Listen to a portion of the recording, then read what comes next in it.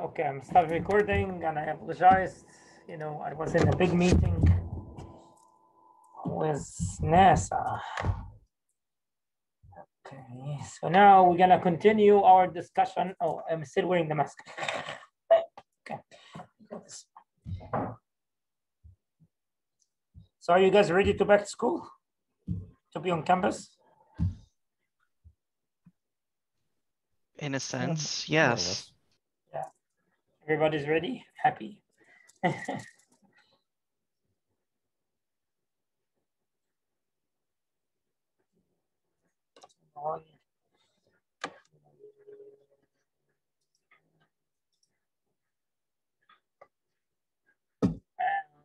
Then got it, uh, no audio, share screen.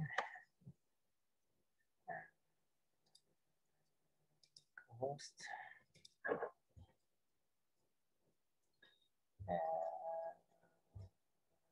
it? Notability.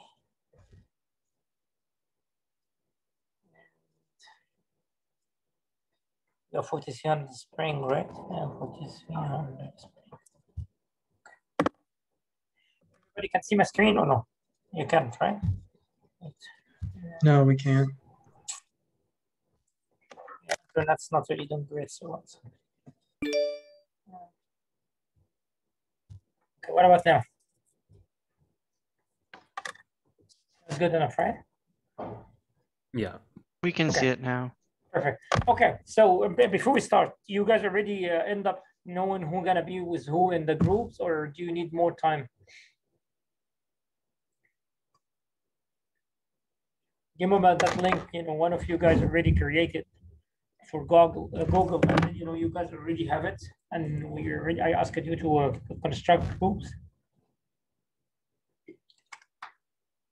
Yes, I think we've settled into our groups already. Okay, so everybody finished with that, or still you need more time, or what? I think we're finished. Okay, sounds good.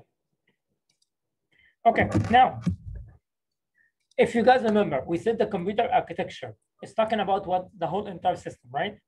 And pretty much, you know, the, the thing that I started with you from the slides, you will find these slides already under modules week number one. Have you guys checked it? So you- in theory, you should have a copy of those if you would like to write something now, okay? So, you know, when we say people study computer architecture, that means they study what semiconductor here, semiconductor building the circuit, circuit digital, uh, digital system design, and you guys already have ECE 3300, 2300 here, right? Then, you know, you already guys got some uh, knowledge about the atoms and so on in uh, some courses, right? In 2200, I think so, right? And you already took 3301, right? Which is giving you some information about instructions of uh, one of the examples of computer architect uh, platform, which is a microcontroller, right? Now, you know, if we look very carefully, this area, this area is the firmware engineer. Firmware engineer, which is he understand the needs of the system in the uh, up level and the system in the lower level. And he know how to gather those instructions and combine them together to build a driver. 99% of the people, I know them in this area around Cal Poly, their, their, their ideas for building company is just building drivers. Okay, so if you would like to be working just for firmware, that's a, that's a job itself. Okay. Anyway, once you build the driver, you will be able to send information from the software to the hardware, right? And this need what languages, and this languages it need to be translated lower to the circuit. So that's why they already have compiler. So this compiler, like you know, uh, C compiler, Java compiler, right? Um, C compiler, Java compiler, um, Python it's not really a language. It doesn't have a compiler. It's like kind of interpreter, something like interpret between the C and higher level of uh, C. So it's not really, really language, you know. And um, but you know, if you would like to use multiple uh, multiple uh, uh, tasks, like you know, you run C code while you are opening MATLAB, while you are watching TV, while you are paying your bills, while you are you know registering for voting, whatever, whatever, whatever. So end of the day, instead of having a specific platform doing this job for you, you will have a software uh, li living on the top of the driver that will allow you to do this job. Pretty much it's like breaking and scheduling, right? And this is what operating system. So advice for you guys, especially most of you guys graduating, right? So for the operating system, what we have Windows, right? What we have Linux, what we, what we have iOS, right? And especially if it's like, you know, computer, but what about if it's phone? Phone that has also another operating system, right? So Linux, 99% of companies looking for people who work with Linux. People actually don't like Windows in industry. Somebody give me an idea why.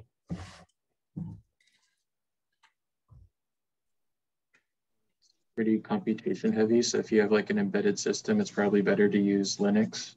And also Linux, um, you can make your own um, modules. Correct. Another thing, it's belo belong to something it's called IO. So imagine you got one of the USB stick, right? You put it on the uh, USB uh, specific area designated on the PC. You agree? What will happen? You will find if you have Windows that it will pop out and say that, you know, there is a driver. And sometimes if your Windows is not updated, right, you will find say unknown driver or unknown device. Have you ever seen this before? Yes. Then you will spend like a decent amount of time to figure out what the heck, right? And you will end up finding what you need to go to update Windows and you update the Windows. Can you imagine what is the problem? Somebody can give me an idea or like roughly, approximately, what is the problem?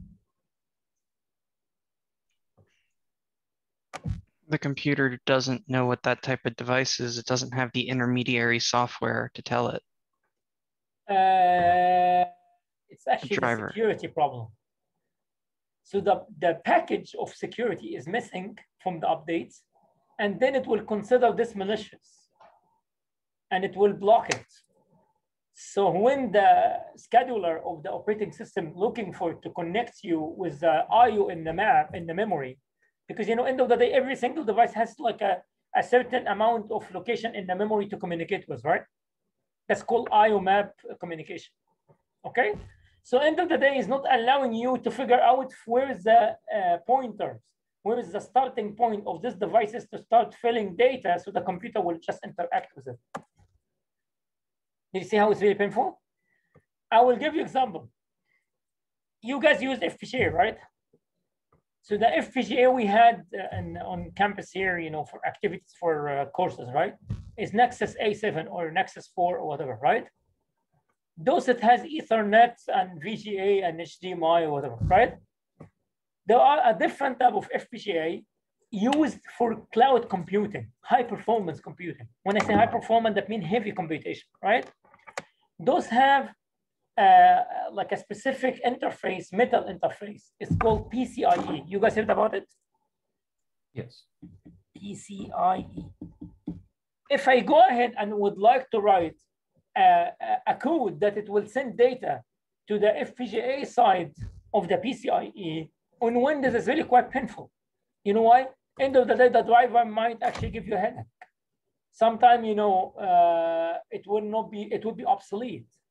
But Linux, the great thing about Linux, if you look into the operating system of Linux, you will find out that, you know, it's, uh, it's figure out every single device that's connected to it, friendly for you to Im, uh, import sub-functions and sub-module inside the current driver is already designed and is open source. Windows is not open source. That's why 99 of defense contractor around Cal Poly area or in California, they are in favor of people use Linux. What Linux people can use? What type of Linux have you guys heard about? Somebody can give me examples.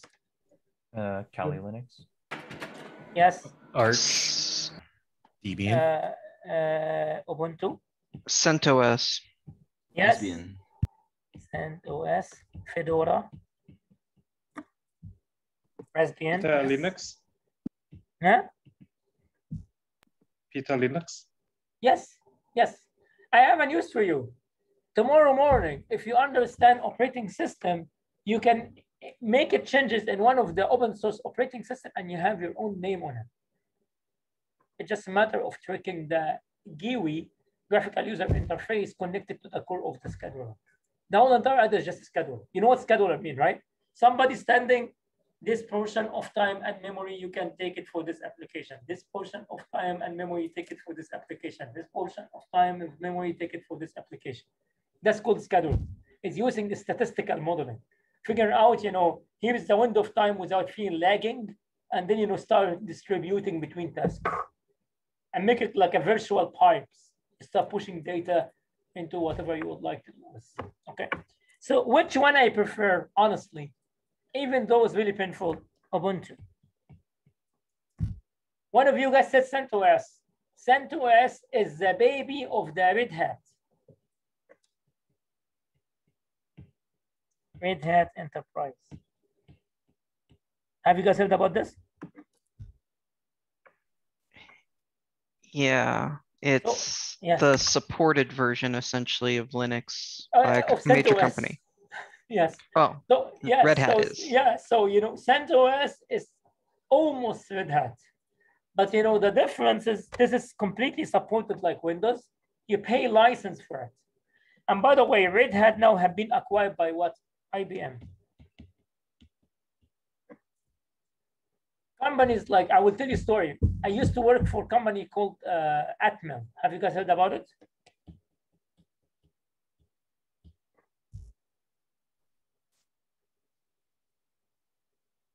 You know what is Atmel, right?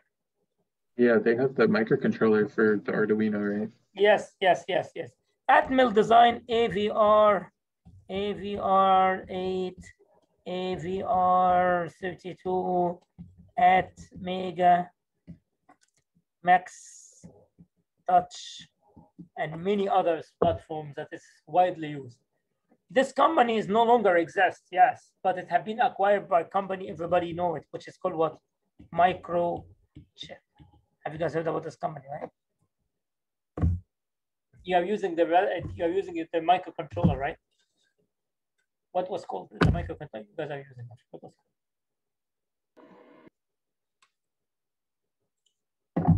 it? This a microcontroller you guys use for CTSPON. What was called? Oh, the name of the microcontroller that we use? I think it's like Yeah. PIC 18. Yes, yes, yes. TPFS, yes. Anyway, so when we I was working there, we was using Red Hat Enterprise, very friendly. You don't need to worry about anything, way better than Windows. But then because you know, if you would like to do research or you learn something, better for you to use Ubuntu. Even Ubuntu is very painful. You know why? Because Ubuntu will force you every time missing any library to go on what overstack. You know overstack website? You will go there, you will learn what is missing library, and from there you will learn how you, those libraries are communicating to each other. You will, you know, you will install it properly. So basically, you know, this is for the learning phase. Sent uh, Fedora, I know my friends from Argonne National Lab, they are actually in favor of Fedora. They said it's really friendly, but I haven't used it. I use CentOS. CentOS and Red Hat is exactly the same, but sometimes slightly uh, missing packages. My advice, so I can move to the next uh, topic, is actually for you guys to start using what? Ubuntu. Try to do your project using Ubuntu. At least this semester, before you graduate, you know? So at least you can put it on what's on your resume. Okay? Anyway, once this operating system is well uh, installed on the machine, applications can be running, like you know, computer vision application. uh, like any machine learning application, like uh, you know MATLAB actually is application. Other software that will be benefiting from the operating system. So looking into the architecture, there is a branch of technology, and we already covered last uh, lecture, if you guys remember, talking about you know the uh, transistor technology, right? So in the company, they will tell you, know, i3 processor or i5 processor or i7 processor have been developed on the 15 nanometer technology or 45 nanometer technology. What does it mean? It means that, you know, the transistor channel length, it's basically 15 nanometer or 7 nanometer or 40 nanometer. So this technology is giving you indication how many transistor densely can be fitting in one chip. Then programming language, because those people who work on compiler, right? So like C, C++, Java, uh, Python, uh, Perl, uh, TCL script, uh, Golang. Have you guys heard about Golang? I've never heard of that, Professor. I will tell you something, which is good. There is another one, it's called Rust. Have you guys heard about it? Yes, I've heard Rust. Yes. So Rust, it's a kind of C, but it's optimizing the memory footprint. So the program in C is unoptimized. That means, you know, I can use many st storage element inside the memory, while Rust, the compiler is really directed comp uh, compiler in a way that it will decrease the size of the location of the memory used for hosting a program. Rust is very friendly for crypto on the software side. So if anybody would like to learn security, better for him to learn what? Rust. If anybody interested to learn more about Rust, I can give you links for it, okay? Also, there is another language used by like Swift companies, you know, like uh, Visa card, MasterCard, because those guys also caring too much about security, right? It's what is called Golang. So Golang and Rust security languages. Okay. TCL script and Perl are command language used for um, building infrastructure for hardware and software. Example, TCL and Perl used for building Vivado. Have you guys heard about Vivado, right? You use it, right? And Yes. also using on building Quartus. Quartus is Intel Altera. Vivado is Xilinx. And I'm not sure if you guys are following news. Xilinx now have been acquired by AMD. Okay. Now, uh, applications, we said machine learning, you know, computer visions.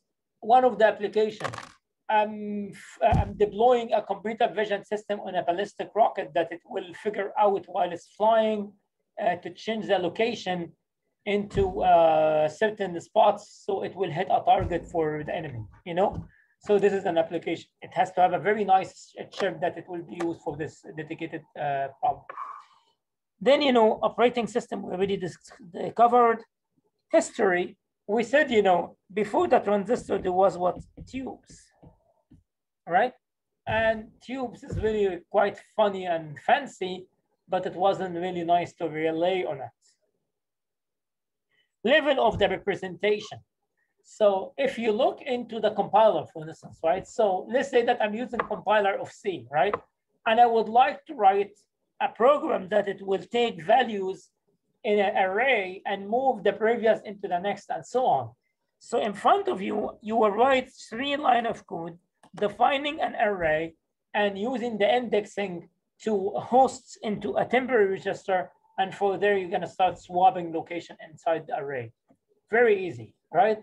That's actually called high level language.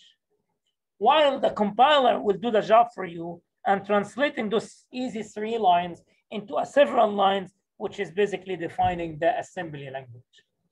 I know 90% maybe of you, maybe I'm wrong, in favor of higher level languages, right? But you know, can I ask you a question?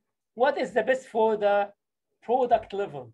To write with C or to write with assembly? That's actually debatable on the programmer. If the programmer can't write efficiently in assembly, it's better for them to write in C.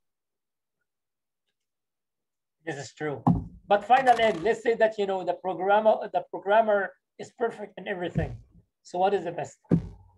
Efficiency wise, it's assembly. Exactly, because the footprint stored, right? The amount of storage that you know it will be used for hosting a program. That's why Rust kind of C, but it's actually doing great job like it's somebody really professional in assembly. That makes sense? Now, what is the best language ever you would like to use to speak to a machine? This. Because these lines will turn to be what? Bunch one of zeros. Like I'll tell you an example, right? Let's say that, you know, I'm from, uh, I'm from Japan, right? And you are speaking to me. So better for you to convey the message to me is to speak to me Japanese fluent or you speak to me English? If you're fluent in Japanese, it would be Japanese. Exactly. Then, you know, it will be easy for me as a Japanese person to understand everything, right? But if you use interpreters, like an interpreter, like, you know, oh, you know, Muhammad know a little bit English. I am good in English. I will tell him a story in English. Then Muhammad, because his background Japanese, he might misunderstand right? Then the efficiency of the message will not be in doubt, right? But that's why same thing. The chip, you speak to it what? On, off, on, off. There is power, there is no power, there is volt, there is no volt, one and zero. But it's really inhuman for you to start writing bunch of one of zeros, right? Especially if you are targeting a huge application on the chip. That's why these levels of the stack have been defined. But of course, the best ever you would like to do is actually to use this. If you can't go here, if you can't use the closest language that it will give you better optimization in the footprint of the network. Here, the history part, if you remember, we're talking about here. I already put it for you in the table if you like to read more about it. For the exam wise, you don't need to care about it. But honestly, I want you to take this course as the whole entire lectures. Don't give up much about the exam because the exam is gonna be straightforward, okay? So learn about everything. Better for you to collect more and more knowledge. So the technology used in 1951, they already instructed the vacuum tube. And performance per cost, this is a ratio have been developed by the Patterson and Hennessy. It's one to one. Then in 1965, they succeeded on building the transistor, which is a combination between diodes, basically, right? Because if you look at it, right, it's a bijunction. Here is the transistor like this. And if it's by CMOS, that means, you know, here is the channel. And here's the substrate. And here's the N, uh, sorry, S, D, this called uh, substrate. Normally they connect it to the S. And then, you know, here's the gate. And this is called what? Metal oxide silicon. Then, you know, here is the channel moving the uh, charges between the source and drain, right? This equivalency is basically a diode like this, right? So that's why they call it bijunction, right? They make also something is called V tube. That means that you the, the channel between those guys is like V. And the story about it is called for aging. Do you know, guys, that you know chip can also get aged like humans? Do you agree about this? Yes. Exactly. So humans, after a while, unfortunately, they die, right? Uh, you know, uh, cars after a while, it will be broken. Uh, TV after a while, it will be broken, and so on. Why?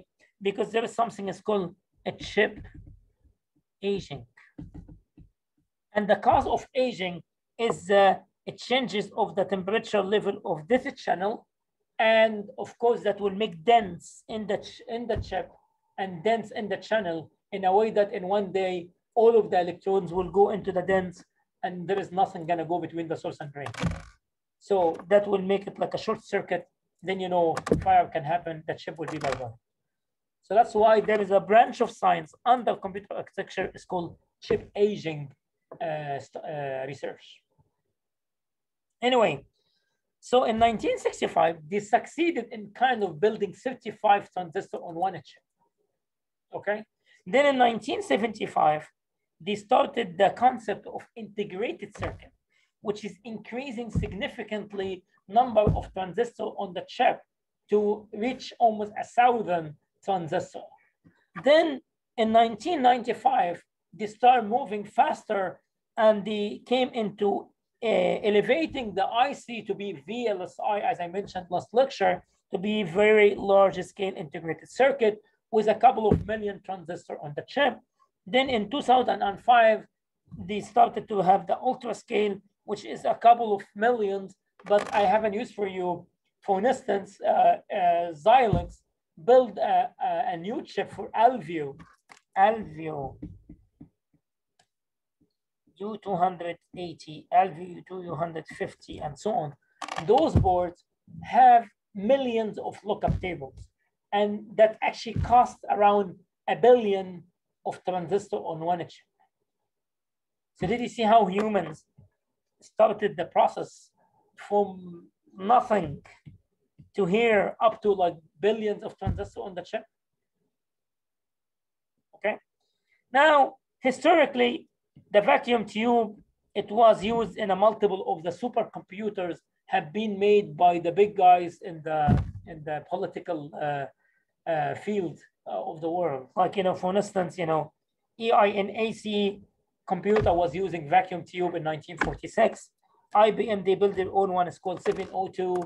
Uh, Soviet Union, they already have their own here. It's called the Strela in 1953.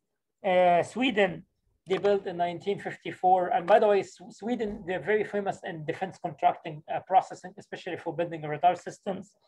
Um, Japan built their own system, uh, and also, you know, the rest of other countries uh, like Poland, it, they built their own UMC uh, minus or hyphen one supercomputer based on the vacuum tube.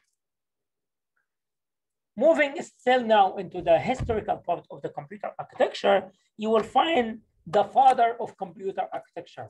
His name, John von Neumann. He's from where? He's Dutch. He's basically from uh, Holland or Netherlands. So he's a mathematician, actually. He, this guy was a mathematician, and he built an idea in 1950, uh, 1945, and this actually concept have been used until now. His name is called von Neumann architecture. There is an architecture by his name is called uh, von Neumann architecture, or they call it Neumann machine. So in 1950, 1945, he came in an idea that, you know, there is a, a, a program need to be written in a memory. And also this memory will be storing data at the same time. And that will be clustered with a, a processing unit. This processing unit, it will add and subtract and multiply based on the mathematician, a mathematical model. And they call this ENIAC, ENIAC, this guy. So Neumann did everything, right? And basically he programmed, he stored it in a suitable storing memory alongside this data. So pretty much, if I would like to summarize to you what Neumann have done, Neumann came and say, here is a table. Part of this table will be for storing data, while the other part will be storing what? Uh, instructions. And that will be sharing what? ALU, which is called what? Add and or arithmetic, arithmetic and logic unit. Then they came later on and built another architecture. It's called Harvard architecture, which is breaking this memory to be two separate memories, one for data and one for instruction. I'm gonna talk about this uh, in a few seconds. So the, the research Neumann have done with his uh, colleagues from the NATO, NATO, NATO organization. You guys heard about it, right? Yes. yes, came into the conclusion that, you know, we can build something is called an Institute for Advanced Study Computer, IAS. And that was hosted and monitored and managed by Princeton Institute for Advanced Study.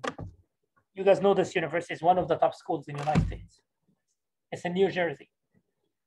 And they prototype several general purpose computers like the computers we are using at the moment. And the first computer came out of this IAS institute, it was in 1952. So as I show you now, Neumann uh, structure or architecture. So Neumann came and say, here main memory, as we said, here is this main memory, it will have location. This location, it will be segmented as what pages.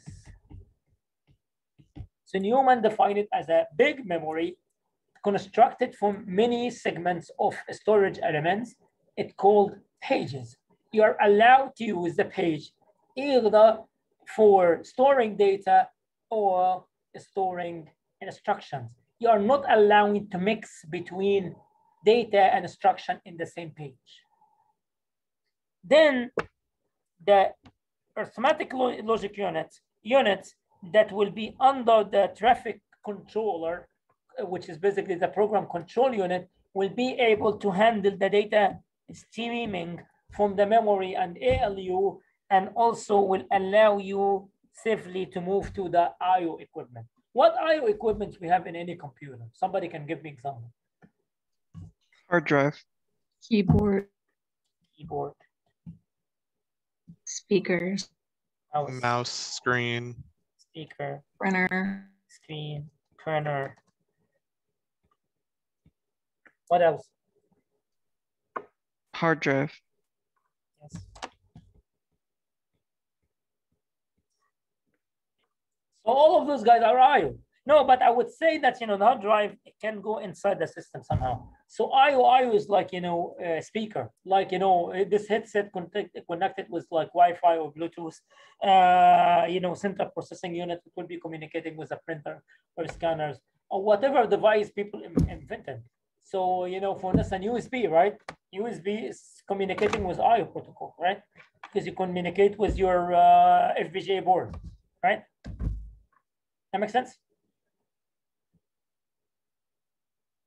Right? Makes sense. Okay. So the IAS that it was released in 1952 came into this fancy architecture in front of you.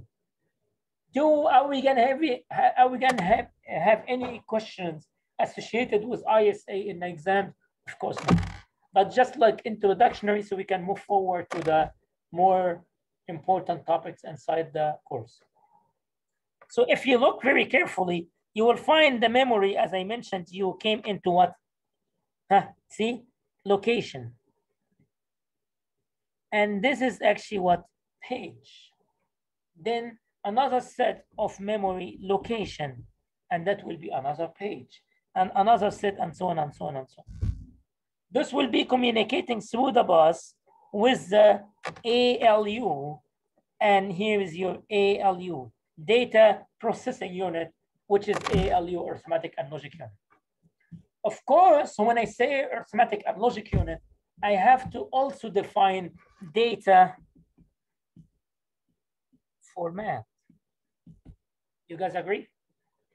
So there is two different type, there are two different type of data format. Integer and real, right? Integer like one, two, three. But then, you know, real number, that mean a fraction associated with what integer, like 1.5, 0.5. And the fraction is very important, especially for like machine learning and computer vision. You end up, you know, uh, the coordinates of the GPS for your uh, ballistic rockets say 335505, which is basically my office. So instead of shooting the enemy, the rocket will be what falling in the top of my office. You know what I mean? So of course the fraction is very important, which we call this what precision. Right? So that's why in the in the chapter three, we will be covering in details the data format and the consequence of breaking data format into integer and real. And how can we represent them in a computer? So for instance, real number, we represented using what? Uh, data uh, floating point representation. And this is actually have single precision or double precision or custom precision or uh, extended precision and all of those guys following the IEEE standard for processing and converting data. Integer is integer. So of course, the arithmetic usually that it will add uh, two numbers are integer is completely different than the arithmetic logic unit that it will add two floating uh, numbers following the, the real numbers representation. You guys agree? IAS, IAS figure out that, you know, you need also a kind of a formation of memory laying inside the elements of arithmetic logic unit or the uh, program control unit or the central processing unit that's actually like tiny in memory, but you know, storing data. So do you guys remember what else is storing data uh, than memory? Registers, right? If you guys remember in the 2300 and 3300 or whatever courses you have been taking with digital logic world, you'll find that, you know, the elements storing data based on time is flip-flop, right? And clustering them that will build registers. Registers, if it will be clustered in a big numbers, it will be a memory, right? So having some of these registers helping for handling the data fast instead of going in a big piles in a storage element like this to store data. So that's why the arithmetic logic unit is associated with AC, which is standing for accumulators, and MQ, which is for processing more into the interrupts and controlling inside the ALU. Then the programmability control unit is basically implementing a finite state machine. And a finite state machine, if you guys remember from the 2300, it's a combination of combinational circuit and sequential circuit. That's why you already have here decoder for combinationals and bunch of registers that it will allow you to do what sequentialism. So that will be completely building a finite state machine. And here is more information you can look into. And here is the definitions of every single register inside the IAS. I remember that I told you out of the uh, von Neumann architecture, there is another one which is called Harvard architecture. So Harvard is trying to make it easy for the architects people by splitting the memory that is having data and instruction to have two separated memory, one hosting data while the other one will be hosting instructions. And of course, the control unit will be in the middle, handling the data movement from one to the others and IO and ALU. Somebody will tell me why we are tiring ourselves and appreciating splitting the memory in two memories.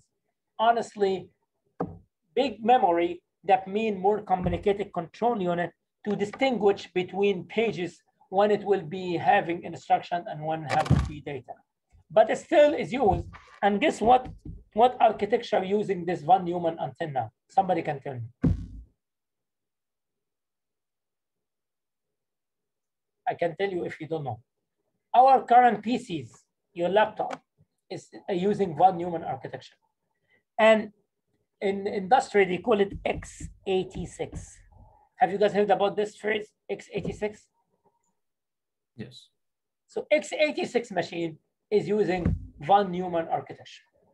While embedded system, the one it's const uh, in constrained in the physical elements used on the chip due to the restrictions on the sizes and the power efficiency and stuff like that, you need to decrease and lighten up the control uh, units. So of course that will cost you to split the memory to make less instructions for the finite state machine and it stays to cover all the possible corner cases. So this is more into embedded and IoT application. Everybody know what does IoT mean, right? Internet of Things. Internet of Things. What is Internet of Things? My iWatch, Fitbit, right? Uh, sensors in your uh, in your tires in the car telling you that you know the pressure is going low. Uh, sensors in your refrigerator telling you that you know the amount of milk you have in the refrigerator at the moment is out of date and it needs to be trashed, or a number of eggs inside the refrigerator drawer uh, less, and you need to go to the grocery to uh, fill the rest of the rack, or you know the vegetables temperatures and pressures inside the refrigerator are rotten, so you have to trash it and buy a new one, and so on. All of those guys called IoT. So there is something that's called IoT, IOTT, IIoT, IORT. What is those? IoT, Internet of Things. IOTT, Internet of Tiny Things. And IoT, IIoT, Internet of Indust Industrial Internet of Things. IORT, Internet of Robotic Things. So inside the IoT as a branch of science, you start breaking into pieces directed by the application you're gonna end up with, right? Here, some writing up telling you that we split the memory to make it easy and that will help you to study while you're looking into it. Modern computers, which is targeting high performance computer. So there is high performance computers, which is like server, super computers. Have you guys heard about supercomputers? I mean, the definition tends to change as the years change. That's true, but so you know there is something called supercomputer. So you, have you guys heard about DOE, right? DOE. So DOE, it's an organization in United States which stands for Department of Energy, and the other one is called DOD, Department of Defense. So you have Department of Energy, Department of Defense. Those guys have set of national labs under them some of them under the DOE and the DOD holding the biggest computer on earth for the astrophysics and uh, strategic security and research applications. And they call guys supercomputers, which is a multi-racks, a thousands and million of racks of high bandwidth computers you can ever have. I have one of the nodes here in my office laying on the ground which is almost worth like a $70,000. Still, I need to put it on the data center so it can be used by perhaps you or other students for other courses and uh, my research uh, It's AMD based uh, node. And also there's another node I have for Power 9 architecture. So IBM, they built their own processor. It's not x86, they call it Power architecture. And also this one is using von Neumann. So modern computers is using the uh, Neumann architecture, not Harvard like x86. And ISA, it means instruction set architecture. That means my machine is based on some instruction. It will be applied on the data at, the, at a certain time, executing it and getting some conclusion. Somebody will tell me, is the whole entire business is ISA? No, because also we have custom architecture. It doesn't need instructions. Example, whatever you guys used to do with 3300 is called custom architecture. But you know, you have a specification, you have the type of your input, you have the type of your output, and you build stages in the middle until you will get the final output processing out in VGA or you know uh, whatever IO device. Um, we said uh, in the Neumann, if you would like to work with Neumann, you have to know the paging. And we said, you know, the paging is allowing you to store either that, you know, you can have an instruction or those uh, data, you cannot store both of them at the same time. Now, we're gonna move into the other level of ISA architecture. I know that we have four minutes left. So in two minutes, I will uh, summarize and close, and then we can continue next lecture. So beside Neumann architecture and Harvard architecture, inside those architecture, still you can have different type of architecture. One of them is called RISC, and the other one is called CISC. What those guys are? So RISC is standing for Reduced Instruction Set Computer Instruction, while CISC is a complex instruction set computer. What are the advantages and what is the unique uh, sets of properties RISC has versus CISC?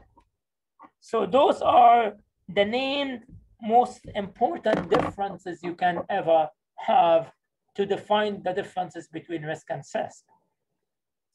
So think about it, right? When I have a memory, what type of operation I can do with the memory? Somebody can tell me. Read. Yes. You can write. Yes. Is there anything else? Depends on the instruction set. Okay, tell me what other uh, stuff we can do with memory. Um, depending on the instruction set, you can use complex algorithm. You can use complex uh, addressing in order to change the data set in order to transform it. This is the addressing moves. Uh, yes, but you know, end of the day, what is what is a naive definition of memory? It's just a big table, right?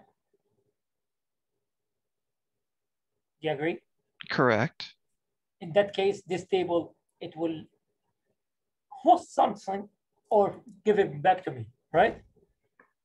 So the naive architecture of the memory is just load and store, as you said, read or write. That's it.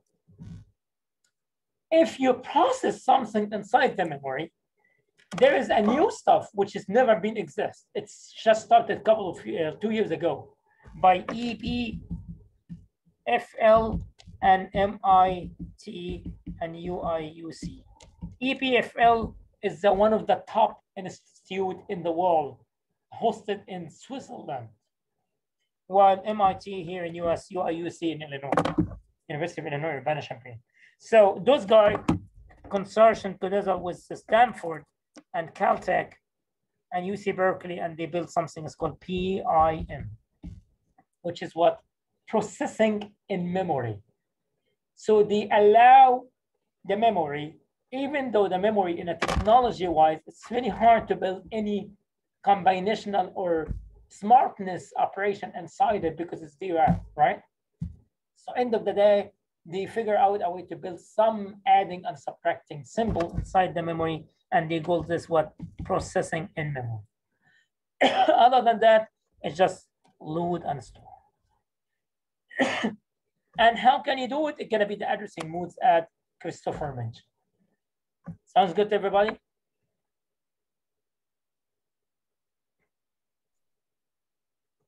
Now, I can say it's 2.15, so we finished for today. And uh, summarizing, you know, there is a big, big branches of sciences under computer architecture, but, you know, we took the flavor of them. We understood the importance of stacking and moving from one to the others. And we looked to the architectures started by von Neumann's and then, you know, followed by splitting von Neumann memory and calling this Harvard.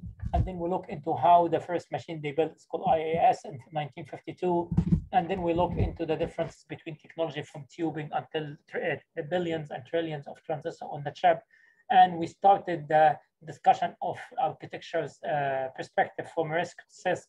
And we talked about the memory load and store versus processing and memory, which is recently have been started as a new research topic for computer architecture.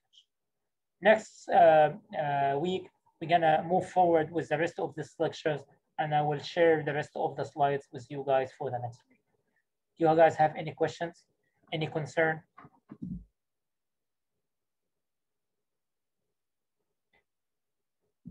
Uh, no.